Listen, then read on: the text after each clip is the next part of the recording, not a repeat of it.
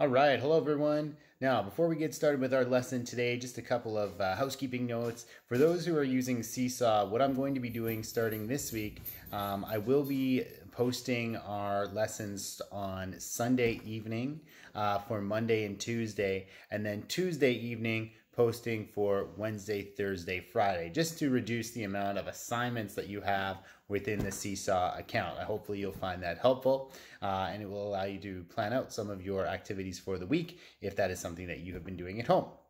Um, today we are going to be trying an activity called a foxtail throw. So um, today there's a few materials that you're going to need to make your foxtail. These are lots of fun. Um, this was passed down to me from uh, Blair Robillard, uh, who taught an Indigenous Games course at the University of Manitoba that I had the opportunity to take last year. So uh, we're going to take a look at how to make your foxtail. I have the finished product here. Um, going to go through a quick video on how to make your own foxtails. For this, you will need, um, if you've got pantyhose or leggings at home uh, that you can use, if you've got an old pair that uh, you don't mind cutting up, that works best, but you can also use a long sock. Uh, you will need a balloon and a balloon filled with some rice, and I'll show you in the video how to do that. Um, let's start making our foxtails.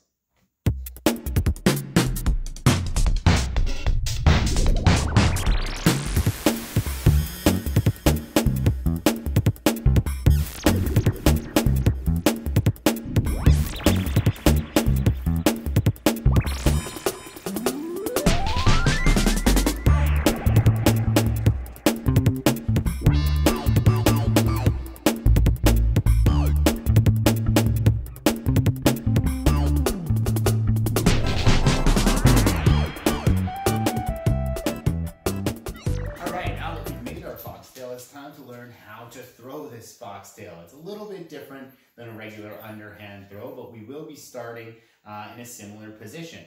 So I'm going to start off by getting my foxtail to rotate 360 degrees. So I'll show you the side view as well. And I'm holding the foxtail from the tail portion of my foxtail. So I've got the ball here and then the tail of the foxtail.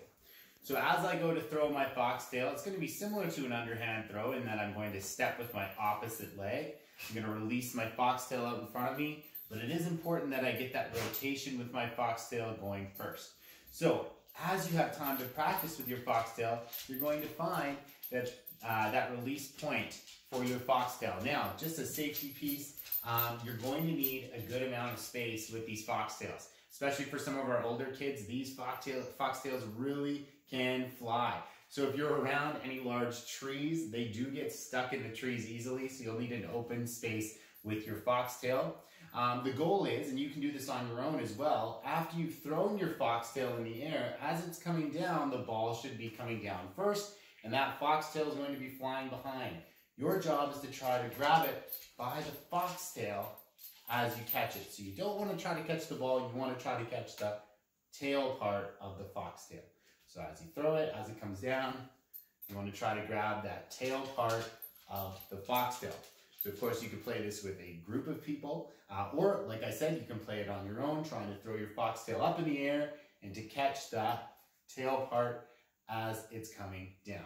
These are lots of fun. I'd love to see a video or a picture um, after you give it a try. A reminder, Monday is a PD day. Um, but you can expect for those who are using Seesaw, again, Sunday evening, I'll have your assignments posted uh, for Tuesday, being Monday's a PD day.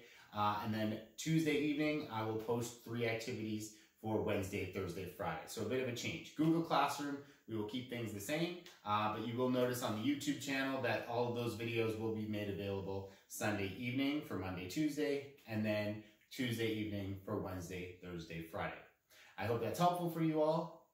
Um, thank you so much and have a great weekend.